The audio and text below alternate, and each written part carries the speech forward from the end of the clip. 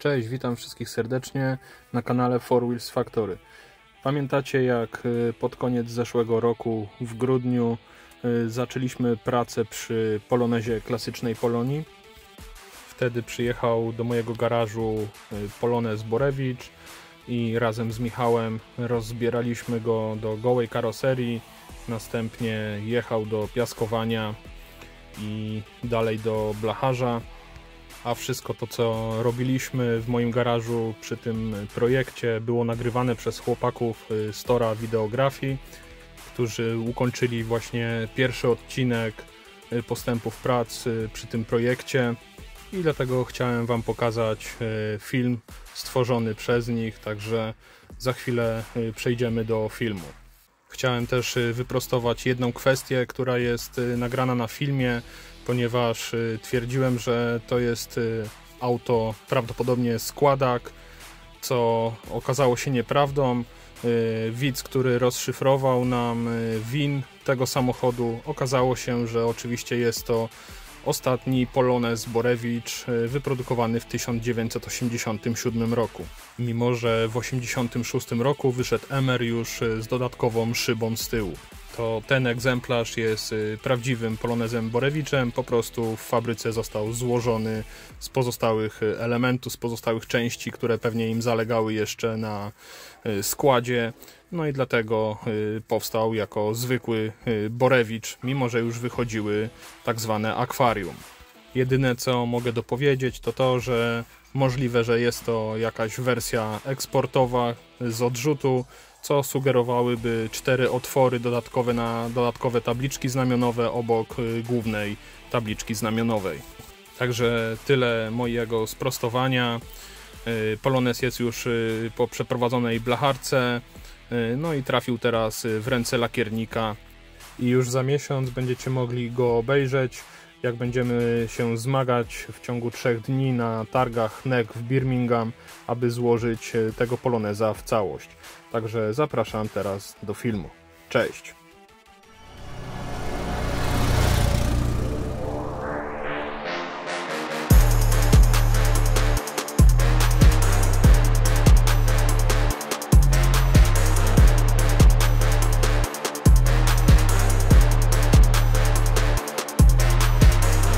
Cześć, jesteśmy dzisiaj w Rajden. Razem ze mną Radek i Tomek z Tora Wideografii. Jesteśmy w Raffix Garage. E, zaczynamy tu nasz projekt. Chcecie zobaczyć o co chodzi? Zapraszam do środka.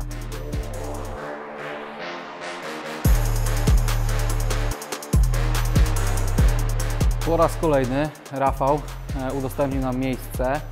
Tak jak mogliście wcześniej widzieć, e, składaliśmy tutaj, szykowaliśmy malucha, którego składaliśmy później na neku w Birmingham przez 3 dni. Tak teraz szykujemy poloneza. Mamy ten sam pomysł, żeby przygotować go, później go rozebrać i złożyć w 3 dni na targach w Birmingham. Także jeżeli chcecie widzieć nasze postępy, obserwować nas, obserwujcie nasze social media, obserwujcie Facebooka. Polonez, 87 rok, tak zwany Borewicz. Będzie fajne autko. Zapraszamy.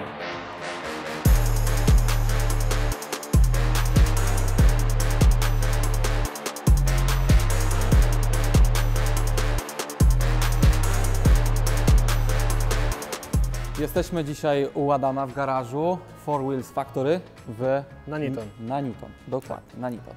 E, dalej rozbieramy naszego Poloneza, jak widzieliście wcześniej.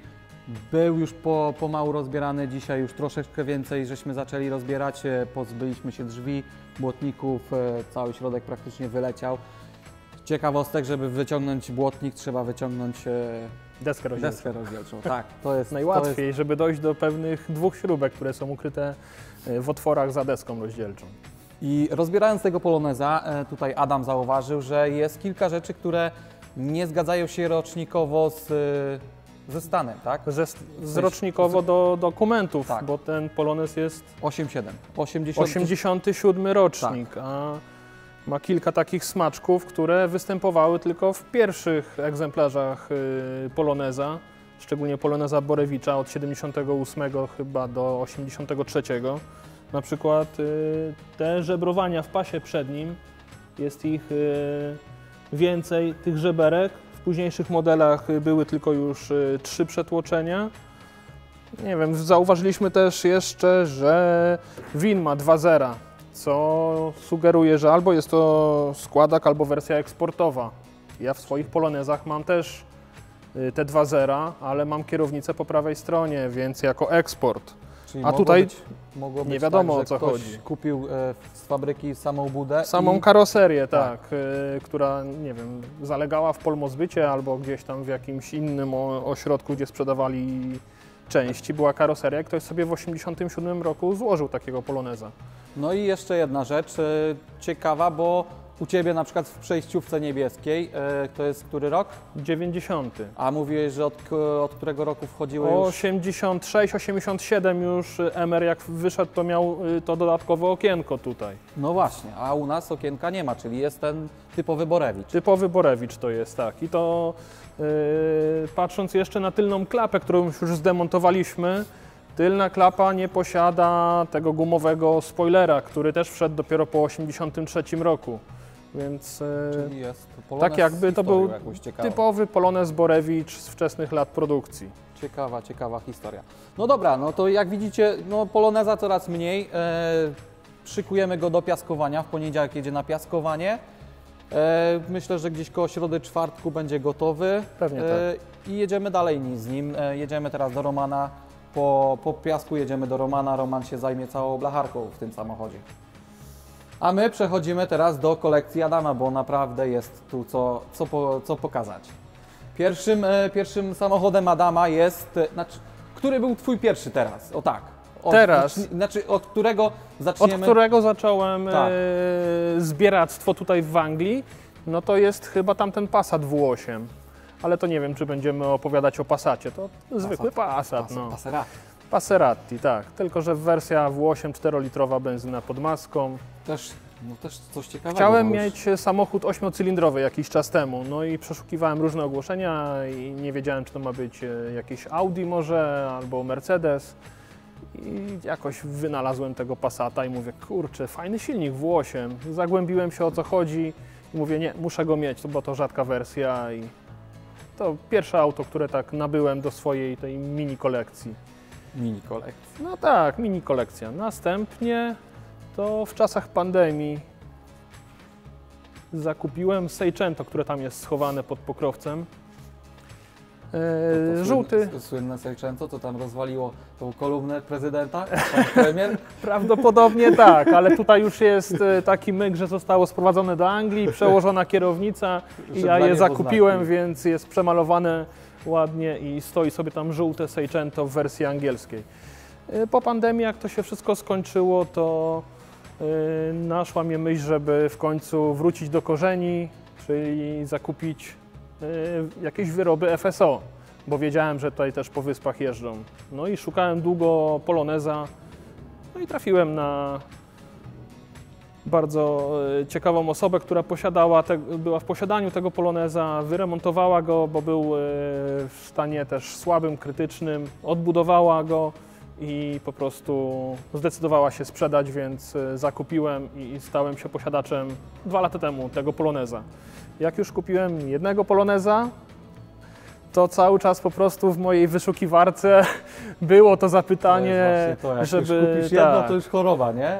FSO for Sale UK i cały czas to pytanie się gdzieś tam przewijało i po prostu taką drogą pantoflową po tym polonezie przyszła kolej na niebieskiego poloneza. To jest y, przejściówka, też w wersji angielskiej. Obecnie przechodzi pełną odbudowę. Teraz zajęliśmy Adamowi czas, żeby z nami zajął się naszym polonezem, ale jego polonez też niedługo jedzie do blacharza, tak? Tak, też. Za chwilkę w sumie blacharz to przyjedzie tutaj i prawdopodobnie będzie na miejscu y, wykonywał swoje prace. Także następnym samochodem po Borewiczu była przejściówka z 90 roku. No i idąc dalszym tropem, cały czas y, wyszukiwarka FSO w UK. No i znalazłem Poloneza Caro, który też tam jest y, w końcu hali. y, Czeka na swoją kolej na remont, bo To też jest bardzo ciekawe auto z ciekawą historią. Tak, y, historia jest ciekawa, ponieważ to auto było takie jakby wystawowe, czyli no, prezentowane było na różnych targach, między innymi w Neku w Birmingham w latach 90. y, to auto występowało i było po importerach, y, po prostu tam, gdzie oni sprzedawali markę FSO, było poka jako pokazowe auto. Jest na to dokument, także Polones ma Warto- elektryczne szyby. tak, elektryczne Elektryczny. szyby, elektryczne, elektryczny szyberdach. Y, Jest już na wtrysku paliwa, bo to y, jest Karo z 94 roku i ma dokładki Oriciari, czyli takie te poszerzenia na zderzakach, na progach. Taki po prostu super bajer no, na, na tamte czasy. Alufelgi oczywiście. No. Także żeby zachęcić e, do zakupu najtańszego auta na, na rynku brytyjskim, zrobili taki model. No i e, w międzyczasie, w międzyczasie jakoś, sam nie wiem jak to się stało, ale e, pewnego wieczoru po prostu e, odpaliłem telefon i wyszukiwałem swoje ukochane zagadnienie i mówię, no dobra, no nie ma nic FSO Cars e, w UK, ale wpiszę może Fiat 125P. Wpisałem i pokazało się to ogłoszenie. Także e, nie przespałem nocy. Rano oczywiście szybko telefon. Odebrała starsza pani, powiedziała, że ogłoszenie jest nadal aktualne. Jeśli jest pan zainteresowany, bo tutaj dużo telefonów mam, to proszę przyjechać jak najszybciej. Więc nie dużo myślałem, po prostu laweta, wsiadłem i pojechałem do pani. Po prostu jak pani otworzyła ten garaż, już e, wiedziałem, że to auto od razu zabieram bez targowania, bez niczego, bo naprawdę stało w takim stanie. 19 lat stało w garażu. E, Mąż tej pani pracował e, jako sprzedawca i, i e, jako właśnie ten dealer e, marki FSO, dlatego też posiadał e, taki egzemplarz. Niestety no, wiek zrobił swoje. Dziadek już nie mógł dalej tym samochodem jeździć, auto stało 19 lat w garażu, przyszedł czas, żeby je sprzedać. Więc no tak się stałem posiadaczem tego fajnego Fiata. Przez No. przypadek. Przez przypadek, tak. Nie, fa- fajne. Fa- te Fiaty w ogóle jest e, bardzo fajnej specyfikacji też. Nie? Bardzo fajna specyfikacja. Rzadko w ogóle spotkać e, Fiata Kombi. E, Można częściej spotkać zwykłego sedana Albo pick-upa. albo pick-upa. Tak, najwięcej chyba pick-upów Mhm, jeszcze zostało e, w Anglii. A kombi to naprawdę jest Kombi rzadkość. w ogóle w Polsce e, znaleźć to jest też Jako ciężko. prywatne, Mhm. tak, jako cywilne kombi, tak, bo rzeczywiście one występowały w wersjach y, sanitarnych, czyli miały y, te szyby takie mleczne do połowy i były to jako karetki albo do przewozu, no nie wiem, krwi czy coś takiego, no tam służyły po prostu y, w, w pogotowiu i w służbie zdrowia. A tutaj trafił się rodzynek. Tutaj trafił się rodzynek, e, tak, bardzo fajny też e, ten dach ma, to akcesoryjne wyposażenie. Nigdy czegoś takiego nie widziałem jak e, pokazywałem to auto w internecie, to każdy właśnie się pytał, co to jest za dach, skąd on się tam wziął. No to wydaje mi się, że to po prostu jest dodatek akcesoryjny dodawany przez importera tutaj No już na miejscu, tak samo jak te kołpaki. Takich kołpaków nigdy nie było w Polsce dodawanych do samochodu. Tam po Trzeba- prostu szła seria na takich trzeba tych y, dodać czarnych y, kapselkach, tak? To, że właśnie jak Polska wysyłała samochody na e, eksport, to dodawali fajne rzeczy, tak? Tak, tak. Czegoś, tak. czego no, u nas w Polsce nie, nie tak jak chyba w Polonezie umontowali wycieraczki na Yy, reflektory. Na reflektory, tak. A i tak samo więcej na Skandynawię takich No dodatków właśnie. y, było. Na, na UK może nie, ale na Skandynawię rzeczywiście montowali te reflektory. Y, Także no, tutaj musieli po prostu zawalczyć o, o klienta, więc y, dodawali takie y, smaczki. No, dla nas może teraz to wydaje się śmieszne, kołpaki, bagażnik dachowy, czy tak jak w tym Polonezie no jest y, ten dach y, przykryty sztuczną skórą, tak? Jak w, nie wiem, w Fordzie Capri może, czy coś takiego i dodany jest y, szyberdach, nie? No to też y, w Polsce nikt takiego poloneza nie miał, a tutaj tak wyszedł z fabryki. y, Same to, że naklejki e, te boczne, no u nas w, w Polsce chyba nie, nie miały Dokładnie, a tutaj prawie każde auto, No właśnie, jakieś jakie tam- spotkałem, to zawsze ma jakieś te takie super naklejki na, na, na boku, żeby je szybszy. wyróżniać. No tak, czerwone paski, dwa, to wiadomo, nie? Jeden pasek, pięć koni, no to dycha po prostu już jest, nie? Na plusie i nic nie trzeba ingerować w silnik. Także tak to wygląda właśnie. No. Adama samochody możecie spotkać na zlotach. E, Adam jeździ e, systematycznie na, na różne zloty. Tak, tak, staram się jeździć. Fiacik e, wygrał u nas na zlocie, drugie miejsce zająłeś, czy trzecie? Chyba trzecie, Trzecie. trzecie miejsce, tak. Także Adam ogólnie pomaga nam przy naszym projekcie. E, Z racji tego, że jest e, właśnie w trakcie odrestaurowywania swojego, e, poprosiliśmy go, znaczy w sumie to się sam, e, sam zaproponowałeś, że możemy do Ciebie wpaść. No tak, dokładnie, bo jestem na podobnym etapie, a jak e, jest taki fajny pomysł, no to dlaczego nie? Kocham takie rzeczy robić, więc e, żyję tym na, na co dzień, nie? To jest moja taka pasja, więc czemu nie, nie pomóc, tak? Zresztą na tym etapie to e, na razie nic wielkiego nie robimy, tylko rozbieramy ten samochód, więc e, nic skomplikowanego rozebrać samochód do, do gołej karoserii. No i co? Y, Obserwujcie nasze profile na Facebooku, na YouTubie i patrzcie, jaki jest postęp prac, bo naprawdę będzie, będzie się działo. Z każdego y, etapu prac będą jakieś nagrywki, będziemy wrzucać, informować, co się dzieje z naszym Polonezem. Także zapraszamy i do widzenia.